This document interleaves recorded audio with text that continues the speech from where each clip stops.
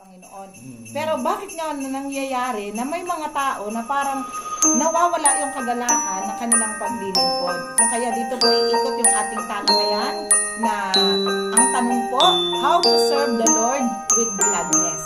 So paano natin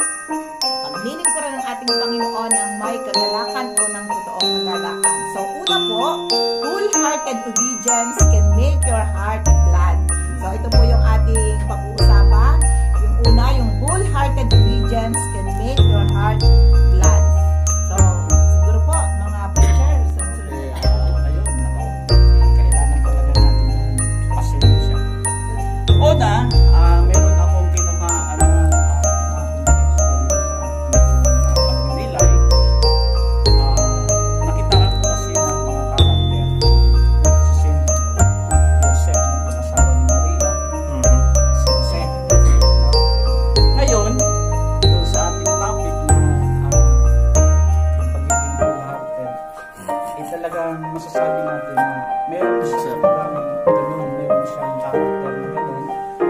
Uh, yung kanyang pagsunod dahil sa maayos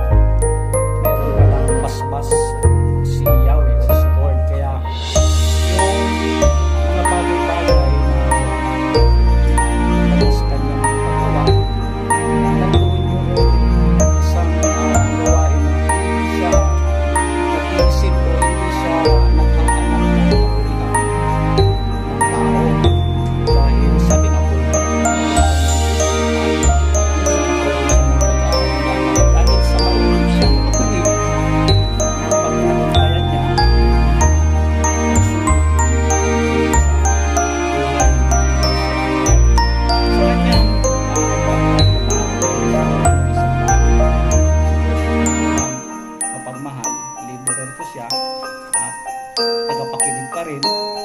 Ngayon, natutunan niya yung buhay at agit na kung saan maraming trials. Nangibabaw pa rin yung kanyang pagmamahal. At ito yung pinag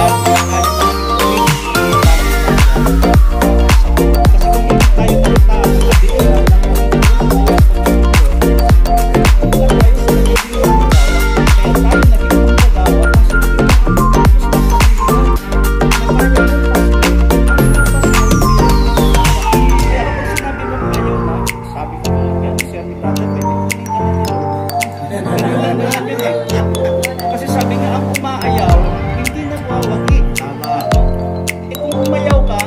Eh, nasa kalagitnaan ka na.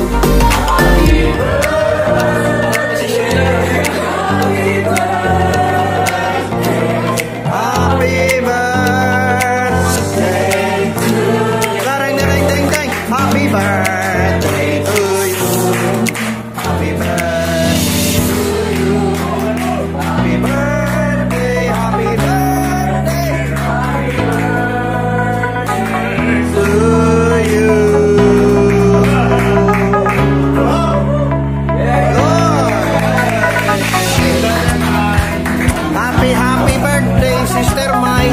Mag-blowout ko doon. Na, picture. Ano masasabi mo? Oo, sa lahat po ng effort. Ano masasabi mo sa... Ano Brother Ryan? Yes. Kami tapos na po ang amin pong ah, uh, PPC Tapat Patagig Paderos Pasig at mayroon po tayong nagdiriwang ng kaarawan ngayon, si Sister Mai, isa sa pinakamahusay na Moses dito po sa Taguig, Paderos at Pasig. Ayan. At ngayon may, may cake po siya at may budol fight ngayon. Ayan. Budol fight. Hindi budol-budol ha. Budol fight. Okay. Sige, upo na kayo, upo na kayo. Ayan. Ano sir? Handa, standby. Thank you. Okay.